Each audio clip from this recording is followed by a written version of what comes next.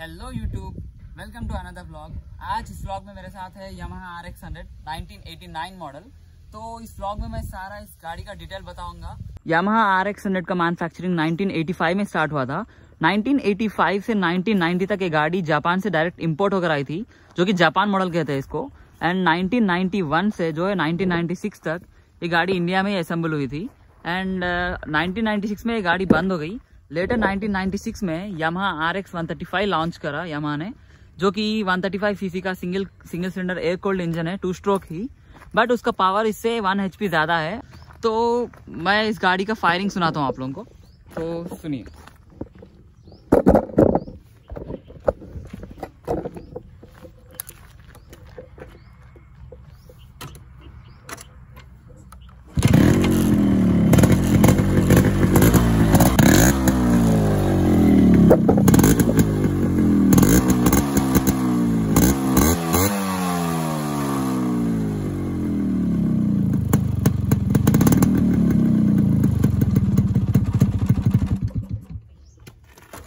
तो जैसे आपने सुना, ये थी इसकी फायरिंग अब इस गाड़ी के रिस्टोरेशन के बारे में बात करेंगे.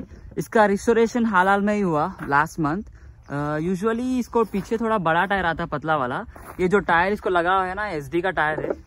तो करते क्या है एक्चुअली एसडी का रिम खरीदते हैं और जो यामा का ड्रम होता है ना, उसको फिट कराकर डायरेक्टली टायर फिट हो जाएगा एस का रियर टायर और फ्रंट भी इसका वही टायर है। फ्रंट ये जो मडगार्ड लगा हुआ है ना, इसको पल्सर 150 का है ये ओल्ड मॉडल और पीछे का सस्पेंशन भी पल्सर का ही है।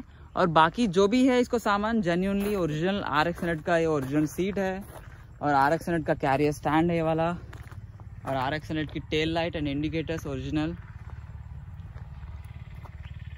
और ये Yamaha RX 100 जो है ना फोर स्पीड गेयर बॉक्स होता है इसमें, सिर्फ़ फोर गियर्स Yamaha RX 135 भी फोर स्पीड आई थी। लेटर फाइव स्पीड हुआ वो। लेटर फाइव स्पीड करके इसको मैनुफेक्चर किया Yamaha ने। तो देख सकते हैं आप, ये मिरर्स भी सेम इसके Yamaha के है ओरिजिनल तो ये मीटर एक्चुअली फिट सीधा नहीं हुआ बिकॉज़ ये हेडलाइट जो है इसका सामने का छोटा होता है Yamaha का। ये किसी और गाड़ी का हेडलाइट है। तो इस वजह से वो मीटर भी फिटिंग नहीं हुआ। तो इस गाड़ी को मैं और थोड़ा मॉडिफाई करने वाला हूँ। तो अगर मुझे इस वीडियो पे अच्छा रिस्पॉन्स मिला तो इस गाड़ी में मैं फ्रंट डिस्क ब्रेक डालूँगा। फ्रंट डिस्क ब्रेक जो है ना, ये बड़ा प्रोसेस नहीं है front disc brake install install करना। जो ड्रम है ना, ये पल्सर 150 का ड्रम खरीदना है हमको, और पल्सर 150 का डिस्क सेट पूरा खरीदना है। और जो ये सस्पेंशन भी पल्सर 150 का लेना, अगर आप पल्सर 150 का चूज़ कर रहे तो। और एल्स आपको आर का भी असेंबल हो जाएगा। आर में आपको ओरिजिनल यही साइज़ का सस्पेंशन मिलेगा शॉक ऑब्ज़र्व जो है ना फ्रंट वाला टेलीस्कोपिक वाला। पतला होगा बट 150 का आप डालेंगे तो बड़ा हो जाएगा। यूजुअली जो है ना आर में आरपीएम मीटर होता है। यहाँ पे जो है ना, यहाँ पे खाली हमको स्पीडोमीटर है और अंदर ओडोमीटर है। बट आर को आपको टू मीटर्स होंगे, जिसमें एक आरपीएम दिखाएगा रोटेशन ओडोमीटर अपना टाकोमीटर सॉरी आर में आपको एक टाकोमीटर होगा और एक ये वाला अपना स्पीडोमीटर होगा। टाकोमीटर आप इसमें भी इंस्टॉल कर सकते हैं। मैंने अपनी पुरानी गाड़ी में किया था, मैं कुछ वीडियो नहीं बनाया उसका। सिर्फ़ मेरे पास फ़ोटो से मैं जो लगाया था तो सिंपल इसमें कुछ भी प्रोसेस बड़ा प्रोसेस नहीं है। आर का मीटर असेंबली खरीदना है आपको और पूरे केबल खरीदना है। ये जो है ना, अच्छे वाले मैकेनिक के पास ले जाकर जो जिसने किया है, मैंने रामकोट में कराया था एक मोटर शॉप एक मैकेनिक के पास। उसने एक लचकावा खोला और इस पे लेथ मशीन वाले के पास जाकर इसमें कुछ होल करा कर लाया, फिर उसमें मीटर डाले। तो आरपीएम चालू हो गया था उसका। यूजुअली ये आरपीएम का अल्ट्रेशन काम ज़्यादा लोग नहीं करते।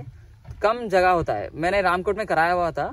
अगर आपको इस बारे में कुछ जानना है यू कैन कमेंट जैसा कि आप देख सकते हैं, इसका कार्बोरेटर है, जो जापान मिकोनी का कार्बोरेटर आता है। लेटर इंडियन एडिशन वाले में, यहाँ पे इंडिया कर कर, जो इंडिया में मैन्युफैक्चर हुआ। तो ये है गाड़ी का पूरा ओवरव्यू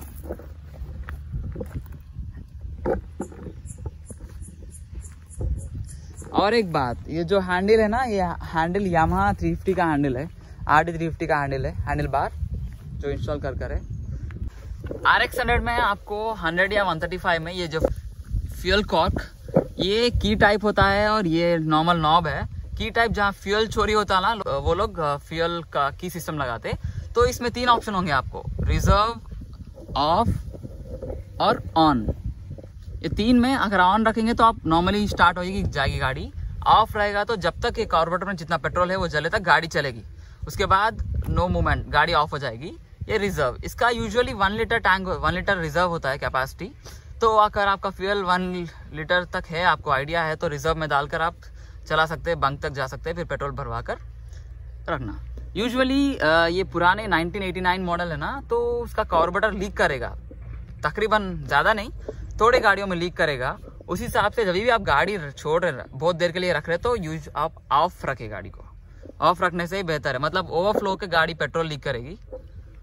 और ये है फ्यूल फ़िल्टर यूजुअली पेट्रोल में डस्ट आता ना तो उस हिसाब से फ्यूल फ़िल्टर लगाते।